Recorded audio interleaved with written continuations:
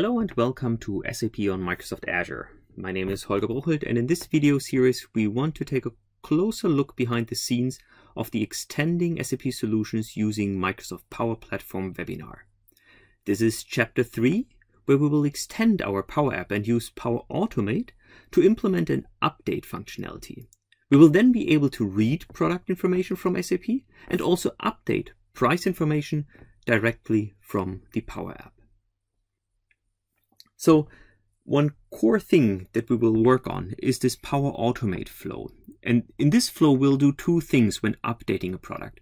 First, we'll take care of the so-called XCSRF token handling, which is required whenever you want to update or create something in the SAP system.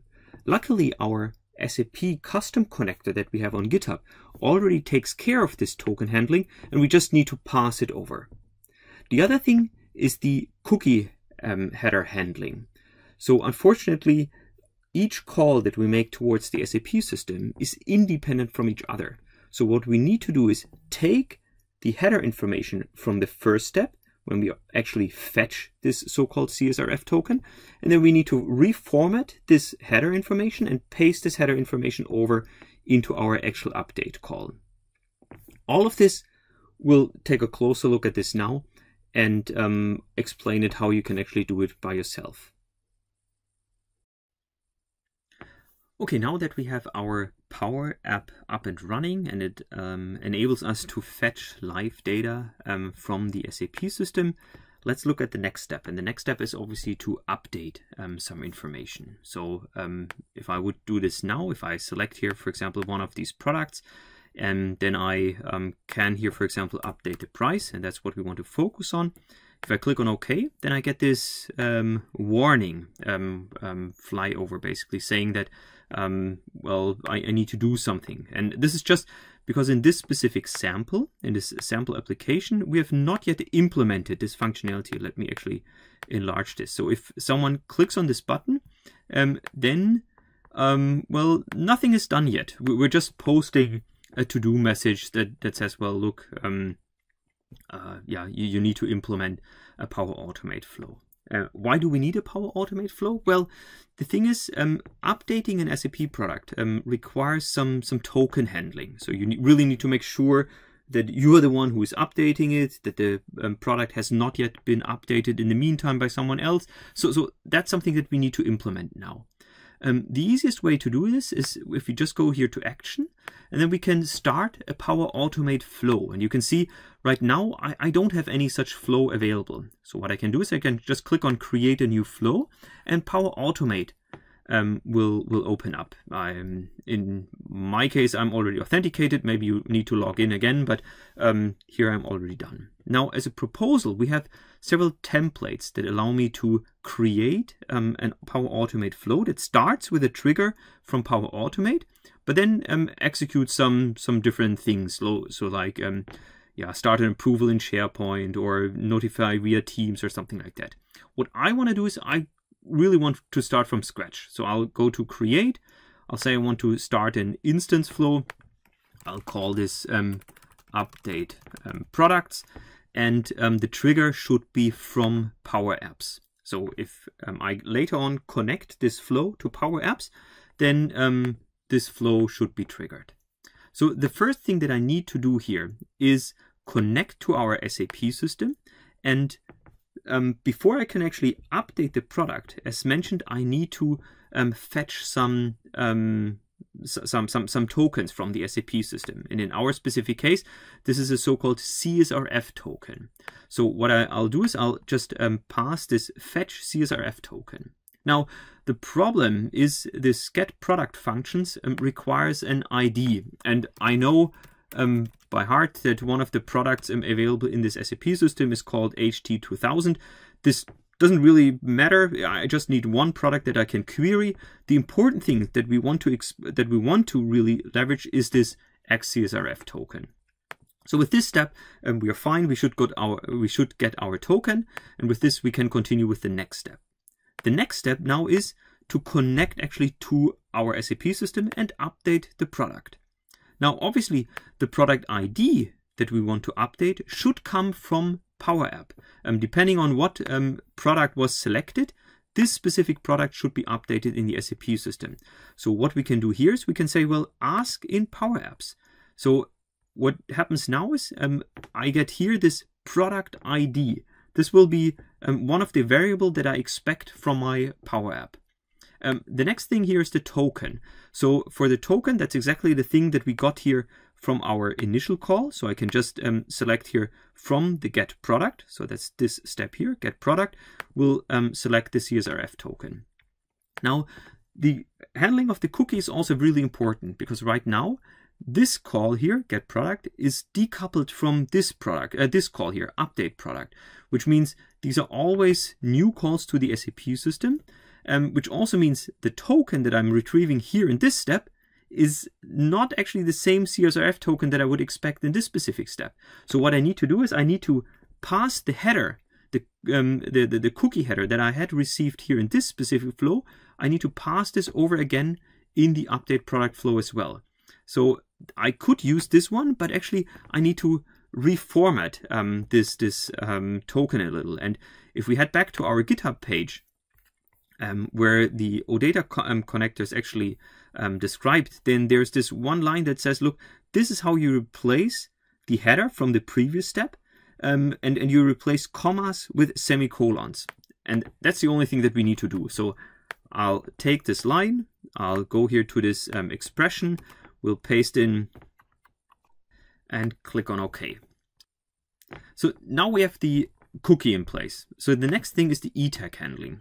E-tag is also a little tricky because um, the idea behind the e-tag is um, theoretically two people could um, update the product at the very same time. And then obviously you don't want to override um, what the other might have already be overwritten. So the thing is, whenever you update a product, you send along, or when you when you update something in the SAP system, you send along an e-tag, basically a timestamp from the last time you retrieved um, the specific product. And only if the timestamp that you send along and the timestamp that is stored in the SAP system are the same, then you are actually allowed to update the product. If the timestamps are not the same, then this means someone else has in the meantime updated the product and you first need to fetch the latest version in order to um, update it. So what we'll do is we'll again um, take this e tag from Power App and say um, we want to ask uh, for this property in Power App. This is this is something that we need to um, um, pass along, and then um, this this token handling can can take place. Now, what we also might want to update is the product name. So we will um, also ask for this in the um, in the Power App. We will ask for the description, and most importantly, we will also ask for um, the price. With this, we are good to go. So we have the product ID, we have the XCSRF token handling, we replace the cookies, we handle the e-tags, we pass over name, description, and price, and that should be it. So if I save this Power Automate flow now, then we can head back to Power Apps in a second and continue here. So now you can see there is this um, update products flow, and I can just um, use this. I can um, add this flow to my Power App.